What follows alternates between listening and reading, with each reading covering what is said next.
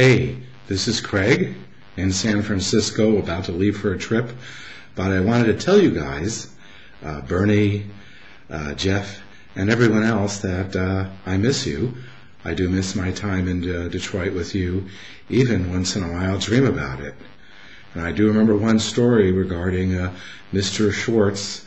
Uh, I didn't see it myself, but I was hearing from people that once we had a receptionist with a pretty strong accent, and uh, once she was called trying to get hold of Bernie and had problems with it, wound up paging to the whole floor, uh, something like paging burning shorts.